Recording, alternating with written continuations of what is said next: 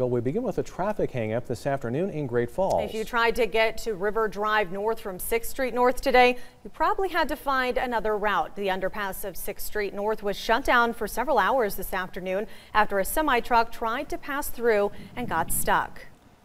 Now, the road uh, has, uh, we're told, uh, could be reopened uh, very shortly at the underpass on 6th Street North. That truck uh, was uh, stuck since a little before 1 o'clock this afternoon. We're told the scene is cleared, but it did take hours before they could get the truck out. At this time, no trains are allowed to pass over. A Canadian company called Red Leaf was transporting lumber to Arizona when the driver's GPS took them through Great Falls, which they have never driven through. Great Falls police responded to the call just before 1 o'clock and cited the driver with failure to pay attention to road signs. The co-pilot tells us he did not initially see any signs before approaching the bridge, and he has never been in a situation such as this one. The group hopes to be back on the road sometime tonight.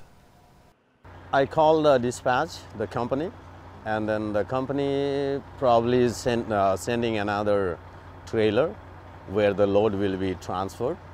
And uh, after transferring the load, we are heading back to uh, Arizona. We are hoping that it will take place today. Hopefully things get better and then we are able to move from here, the sooner the better, because the family is waiting for us back home.